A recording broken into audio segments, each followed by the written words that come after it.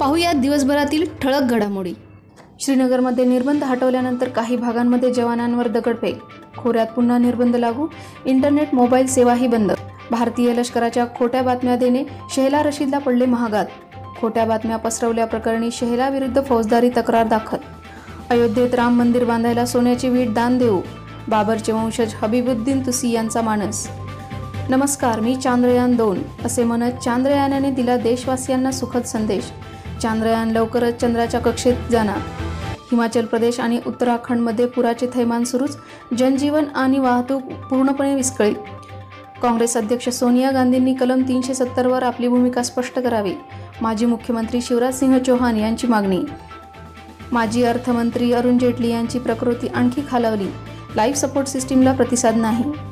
धुळ्यात S T आणि कंटेनरचा भीषण अपघात तेरा प्रवाशांचा जागीच मृत्यू तर तीस जण गंभीर जखमी. विरोधी पक्षातील काही आमदार लवकरच भाजप प्रवेश करणार. भाजपचे आमदार प्रसाद लाड यांचा दावा. मनसे अध्यक्ष राज ठाकरे यांना ईडीकडून नोटीस जारी तर अशा नोटिसांना भी घालत नसल्याचा मनसेचा पवित्रा. राज ठाकरेंवरील कारवाईकडे राजकीय दृष्टीने पाहणे अयोग्य. शिवसेनेचे खासदार संजय राऊत यांनी केले ईडीच्या कारवाईचे समर्थन. वृक्ष लागवड सरकारचा उपक्रम नसून ती एक चळवळ आहे. सयाजी शिंदेंच्या आरोपांना सुधीर मुनगंटीवारांचे उत्तर. भारतीय क्रिकेट संघावर दहशतवादी हल्ल्याचे सावट. पाकिस्तान क्रिकेट बोर्डाला आला धमकीचा मेल तर संघाच्या सुरक्षेत वाढ. अभिनेत्री सोनम कपूरने आपल्या कुटुंबाचे मूळ पाकिस्तान असल्याचा केला दावा तर नेटिझन्सने घेतला सोनमचा समाचार. अभिनेता माधव देवचके झळकणार सुभाष गहींच्या चित्रपटात. विजेता चित्रपटात माधव मुख्य अभिनेत्याच्या भूमिकेत.